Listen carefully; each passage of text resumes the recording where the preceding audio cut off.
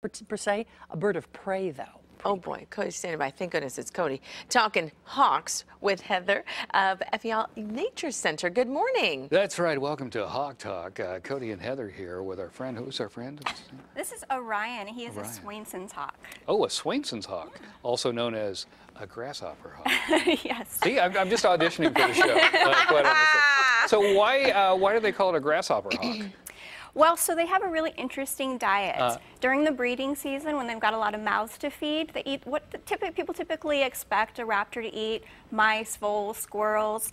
But during the non breeding season, they are insect hunters. So grasshoppers, Oh. dragonflies. Well, that's very handy. Yeah. Oh, very nice. Uh, once again, uh, we got to ask you about the towel there. Um, normally, our guests don't put towels down. Sure. Uh, but you know, it is a bird Yes. can do things. Yeah. I'm guessing. Okay, that's what the towel's for. I didn't know. I didn't know there was something else going to do. Uh, tell us a little bit more about. So we know it eats uh, you know, the, what the things. Uh, what else about this uh, this hawk that we, we should know about? Well, they're really interesting. They can have a very long migration. They can travel all the way down to South America. Oh, really? Yeah, absolutely. And some populations will stay, but um, some of them will travel. And that's actually one of the biggest threats to them. That it's getting better now, but historically, outside of the United States, some really dangerous pesticides were used. And as we mentioned, they are insect hunters, and so they were traveling down south. Eating those insects, and it really caused a sharp decline in their population. It's getting a little bit better now. Um, some areas here in the Central Valley, they are doing a lot to help mitigate the habitat loss.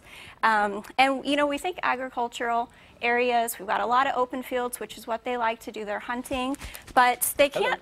Hi there. They can't hunt in all of the different um, crops that we produce here, so it has to be more of an open field like alfalfa, Oh, as opposed to something with a lot of cover. Oh, interesting. Now, when they fly to South America, do they use GPS or do they just rely on directions from people? Do they just like stop and? I, I'm most fascinated like like like butterflies. You know, they, they make this whole big loop and Mm-hmm. Sure. everything. Those monarch butterflies. Do they do the same thing? Do they like to go to a certain region? I'm sorry, I shouldn't use. All right. A certain region in South America, or Um, so you know, it depends on the population. Um, some of them won't go as far. Some of them will travel all the way down to the southern tip, and they travel in really large groups called kettles. So up to 10,000, I've heard. ooh, that's cool. That's uh, you can use that at a dinner party. What's a, a group of hawks called? A kettle. Yeah. Right? A kettle. That's interesting. A kettle. Those talons too are fascinating. I'm just like looking at that. So, uh, did, the, did you use the talons? Is that how it grabs its prey? Yeah, so all raptors are hunters with their feet. Um, typically, it's going to happen as a, you know, a, um, Good thing you had the either- towel. Yeah.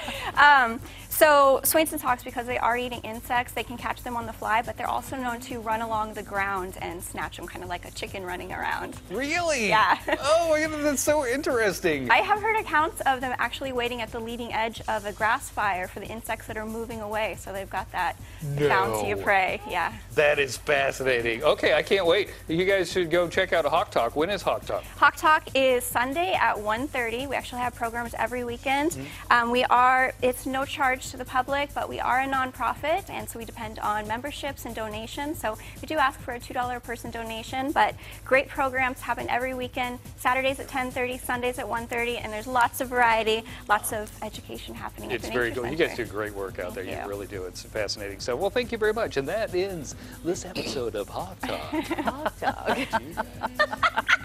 that uh, I'm telling you, that towel came in very handy. Bet Nice it did. job. Bet it did. Yes, Yes. yes. I'm going to get one for No, you. you're not going to show it. People are gonna be you. Oh, we don't. They don't do even that see it. They just talk. Thank you. Thank you. Well, Thank you very much. Thank you. Look forward to Hawk Talk coming up on Sunday afternoon. Yes. Let's go check on the roadways. Hi, Court. Hello.